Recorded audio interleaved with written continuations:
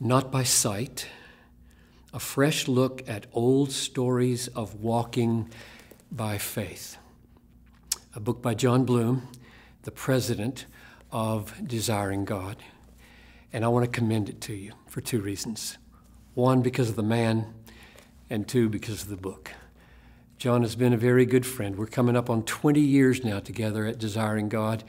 And under God, I owe more to Jon Bloom in this ministry than to anybody, and therefore I've watched him very closely. I watched him lead worship at his church, and I've watched him lead this ministry. And Jon has become right at the top, top one or two personal counselors in my life. I will turn to Jon Bloom and the wisdom that I find in this book for personal counsel as quickly as I will turn to anybody. So I commend the book to you because I love the man, I trust the man, I delight to read and to walk with the man. And then it's a certain kind of book that I think a lot of people will love.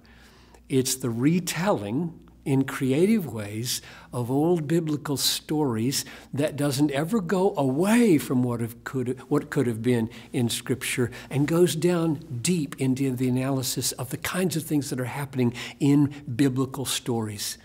I've said to, to Jon, it's some books need to have a big lexicon beside them and some commentary, and you study in that way. And other books are like an invitation to walk beside a stream through the grass, walk out in, kneel down, refresh yourself by the coolness of the water on a hot day.